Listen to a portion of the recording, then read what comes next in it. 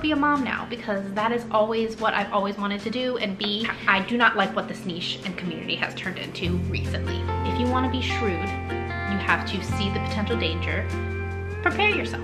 Hello, so this is going to be a commentary video. A lot of thoughts into one video. I wrote a big long script, um, so I'll be looking at my laptop from time to time.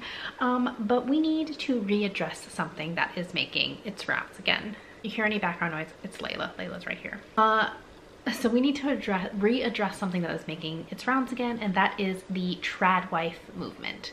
I made a video a year or two years ago, lost track. I have it pinned on my channel, pinned on a lot of places about my feelings about the trad wife movement. Am I a trad wife? Yes by definition, I'm a trad wife. I'm a traditional housewife.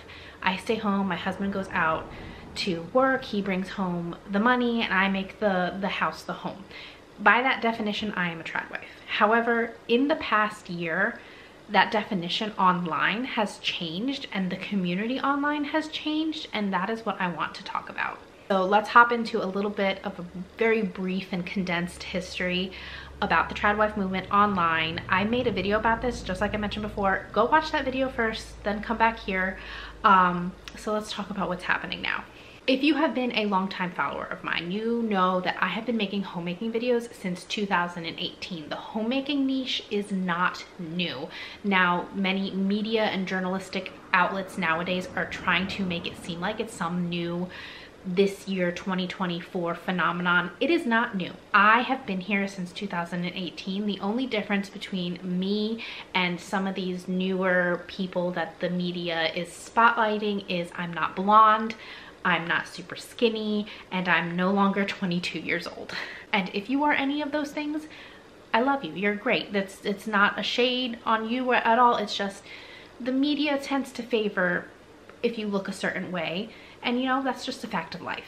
I started making videos online because I personally felt motivated when I watched other people with their homemaking videos online. So I decided, let me make my own videos and see if, you know, if I can help somebody the way that, you know, those videos have helped me, that would be great. So now we are, so now we're here five, six years later, and I have close to over close to 300,000 subscribers slash followers across YouTube, Instagram, and TikTok. But it was back in 2019 I met a group of ladies online. Some of these ladies I have met face to face, most of them I have not, but we all kind of run in the same circle, the homemaking niche we were all and still are all very passionate about making our homes to be our havens, to be skilled at home, to be empowered at home, and to be inspired in the home. All of these women had a goal of teaching useful information to other like-minded women.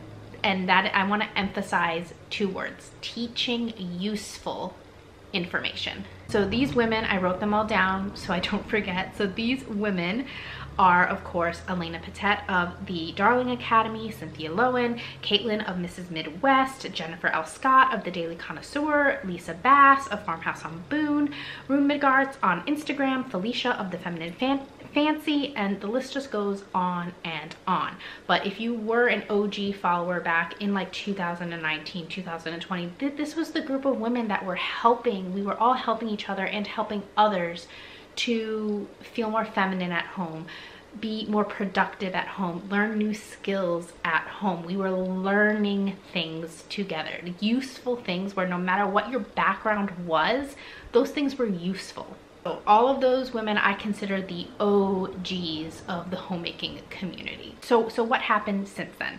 Well, 2020 happened, COVID happened, and in 2020, if you recall, you can go watch my other video on this, the BBC interviewed Miss Elena of the Darling Academy and it just snowballed from there. But personally, what happened since 2020, myself included, many of us OG creators, we got married, we started having kids, we took breaks. We actually did what we said we wanted to do on our channels, which was be wives and mothers. And obviously our channels and being creative online took a back seat to what we actually wanted to do, which was being wives and mothers.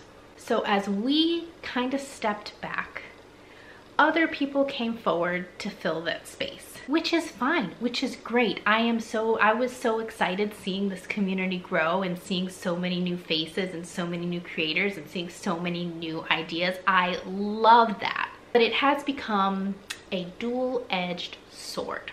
So in the past, so it is now July, so I want to say in the past, I want to say six months, maybe a year, uh, this online homemaking community, the Tradwife community, has become, for lack of a better word, a dumpster fire. This is not the same community that it once was. And I do understand communities change. We're supposed to change and grow and adapt. I'm gonna explain. There have been videos by much newer creators who have been making the rounds. These videos have been making the rounds and they say, and I'm gonna read from my, my laptop screen here, they say that all women, blanket statement, all women need to be stay-at-home wives and mothers or that you need to get married as young as possible and have as many children as possible. Blanket statement. Not allowing for nuance, not allowing for conversation. Um, that's problematic because as you know a logical person understands that not all people want to get married and have children one day. Not all people want that. Not all people want to be stay-at-home wives or stay-at-home parents or stay-at-home people whatever. That's not logical to say that all people must do that. So these blanket statements that are lacking nuance or lacking the ability to have a nuanced conversation mm, not really liking that. Um, let's see what else. Some creators are purposefully ignoring um, like I said, the nuance when it comes to very valid critiques and concerns people have about being a single income family. They kind of brush these valid concerns and criticisms under the rug and just say, don't worry about it. Don't do that. This is one that I saw recently that just made my eyes go, what? What?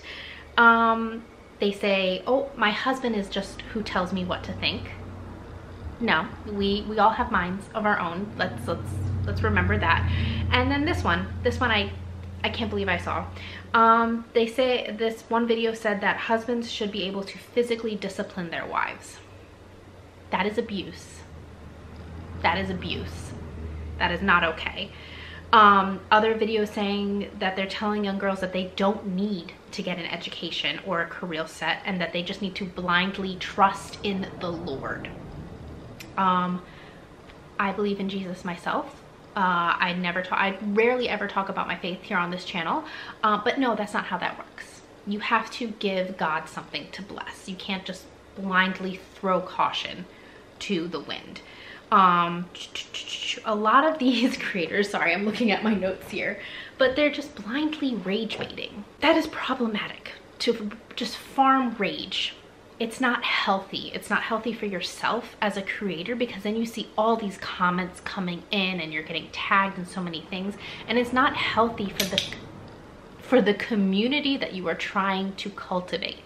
We have lost the original plot of the homemaking movement it's lost. This original, this space, the original plot of the homemaking movement was to empower, educate, inform, and grow a personal community. This was about meeting women where they already were. For instance, my videos have never been about saying that you have to live this way. No, it is about saying like, if you are already interested in this, here, here you go. That, that's kind of the messaging, overall messaging on my channel here as creators, when we are building a following online and we, we are building a community, we need to be very careful about the messages that we are spreading. And I think in the past year or two, there have been a lot of newly wedded young women who have come online and they want to supplement their husband's income. They want to have a new hobby. And that is great. That is wonderful. That is amazing. Those are goals I had when I started my YouTube channel or my Instagram account.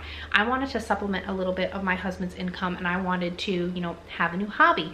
But again, it can become a double-edged sword and we need to be careful. So like I mentioned before, on one hand, we might start off genuinely coming from a genuine good place with wanting to build a community online, but then that kind of creeps into that, that not so good place. We start off making these videos that are meant to be helpful, a cooking tutorial, a cleaning tutorial, but they're not getting the numbers that they need to be getting. They're not getting the engagement, the following, the comments And then one day you see a trending audio or a trending, you know, quote, and you see that that got a lot of comments and that got a lot of likes and shares, and you do that. And it's rage bait. And all of a sudden your account was blowing up. And then it just is a cycle, one right after the other. You're left trying to one up yourself, to say the next craziest thing, to one up the last crazy thing you said. And it's just an endless cycle. And then now we're no longer producing helpful, useful information that, that is meant to teach, which was our original goal. Everyone has the right to freedom of speech. That's if you live in the United States, you have that right. But we have to remember our words can do harm and we have to be careful about the messages that we are spreading. So like I mentioned before, we might have started in a good place of wanting to help people, but then we kind of fell into that rage bait hole of just saying crazy things to get a reaction out of people. Now we're not producing useful content. Now we're not producing content that's helpful. We're just producing garbage. So we just need to be mindful that our words have impact. So what do I mean by that? What do I mean by our words have impact? So some people have shared their stories of what happens when a single income family goes wrong, when something happens to the provider of that family. And all too often I will see these newer, younger creators say, oh, that's too bad. Oh, that could never be me. Oh, you should have picked a better husband. Um, no, no, no, no, no, no, no. That is wrong on so many levels. One, because we should want to learn from others' experiences. Why fall flat on your own face when you could see somebody has already tripped somewhere and you can learn to how to avoid that hazard? It's a horrible analogy just came to mind just now, but we should want to always be learning from others so that we don't have to suffer those consequences. If we can learn from something, if we can learn for the better, why why not why not listen and have an open ear and a sympathetic heart if someone is coming to me sincerely and i say sincerely because all, all too often comments online they they come at me and they're from a place of they want to make me feel stupid or they want to make me feel less than but if somebody is sincerely genuinely coming to me and they're saying hey this is something i wish i knew i'm gonna listen and another point is many of these newer creators, they claim to be Christian and they constantly say, oh, just trust in the Lord, trust in the Lord. Yes, trust in the Lord, but also, I'm reading from my notes here, Ecclesiastes 9:11. That is a scripture that pretty much says, the swift do not always win the race, nor do the mighty win the battle because time and unexpected, unexpected events overtake them all. So pretty much anything can happen. Things happen. Even the strongest person, stuff can happen to them. And hot off the coattails of that, I want to remind everybody about Proverbs 22 verse 3 which reads, The shrewd one sees the danger and conceals himself, but the inexperienced keep on going and suffer the consequences. And I, that is what I'm seeing. I'm seeing a lot of inexperience and they just keep on going. And maybe that's just the part of gaining experience is that you just gotta fall down a few times. But if somebody is coming and trying to help you not fall down, listen. Now, I got married at 22. I remember what it was like to be bright-eyed and bushy-tailed and excited for new marriage. That's normal. That's exciting, but it's still an experience. And that's still okay. That is just the reality of things. So now I'm cringing. I'm cringing a bit when I'm seeing these blanket statement videos being made online of saying that all women need to stay at home all women need to get married at 18. All women need to have a bunch of kids as possible. I'm, I'm cringing at that because the logic part of my brain knows that not everybody wants that. And I mentioned that before earlier in this video, but not everybody wants that. And to make those blanket statements is just cutting off constructive conversation on how we can help other women. So instead of making messaging like, oh, being a housewife is the best thing forever for me everybody should do this. No we shouldn't be having that messaging. We should be having constructive messaging. We should be having sending out messages of teaching young women to know their own heart to find that inner secret person of the heart as the scriptures say to learn themselves to take the time to mature and to teach themselves so that they don't become a victim of lust blinded love or a red flag guy disguised as a green flag. Over the years, I have had numerous young ladies who are getting ready to graduate high school email me asking, hey, what's your advice? I would love to become a wife and mother one day. Um, how can I best go about preparing for that future? And this is the exact advice I give them. First, I always congratulate them if they're getting ready to graduate high school. That's a great, great milestone. So happy for them. But I still encourage to go to a trade school or a community college. Now that's a lot of something, that's something that a lot of these newer, younger trad wife homemaker creators are not doing. They're saying all college and all higher education is a scam. That is not true.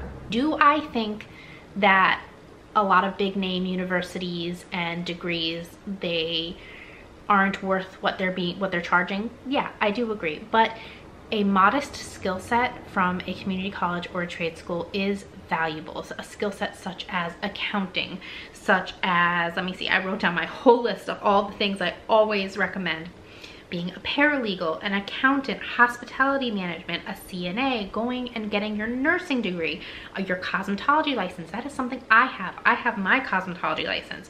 Sports medicine, web design, tax preparation, real estate, the list goes on and on. These are all things that you can get at a local community college or from a uh, trade school for very little cost. And these are all skill sets that can translate into the home like for me, for instance, I'm terrible at cutting hair, but if I was good at cutting hair, I'd be cutting my husband and my son's hair all the time. I instead chose to be an esthetician with my cosmetology license, so my son and my husband have great skincare routines.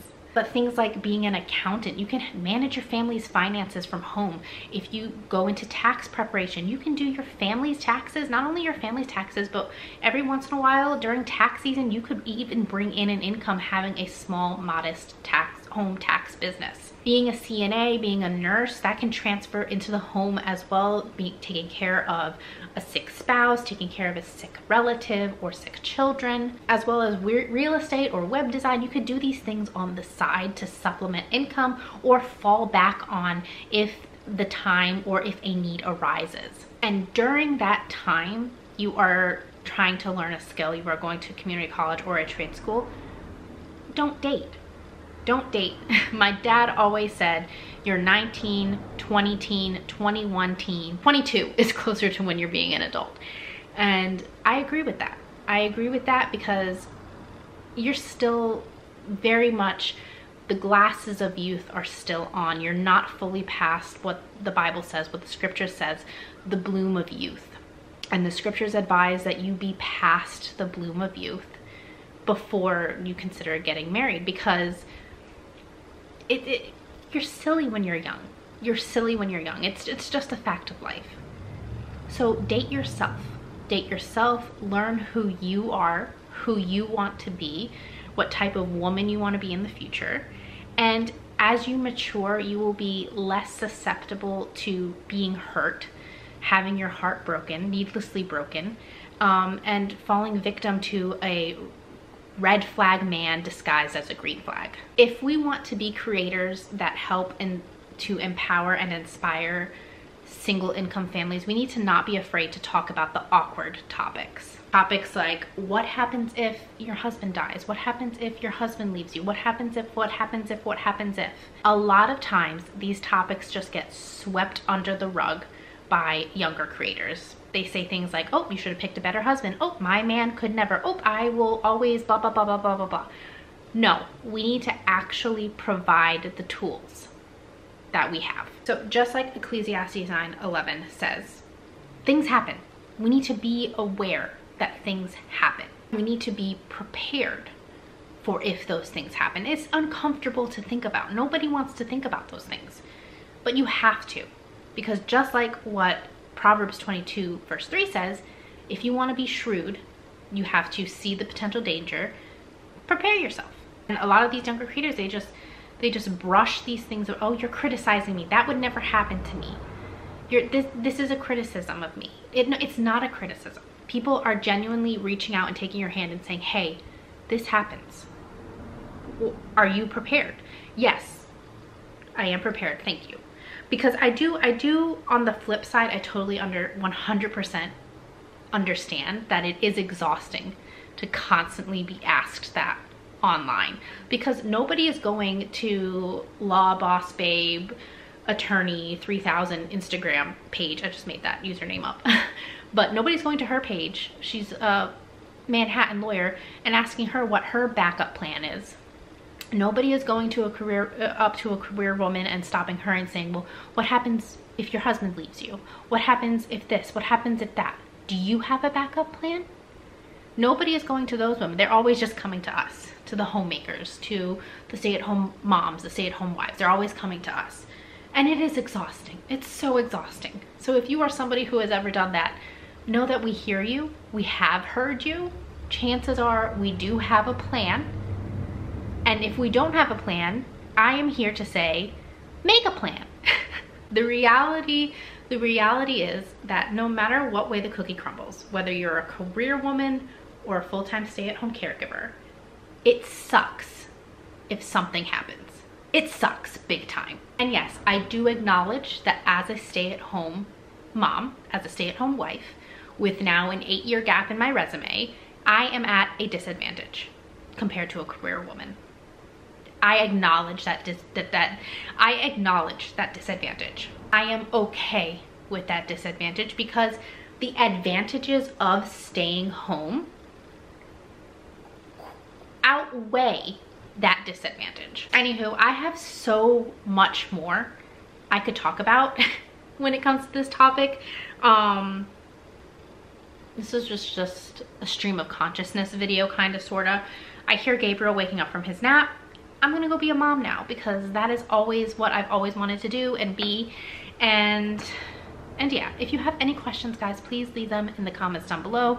I would love to consider continuing this conversation about the state of the homemaking niche, trad wife stuff. I would love to continue having that conversation. Um, but bottom line, to summarize everything, am I a trad wife? Yes, I'm still a trad wife.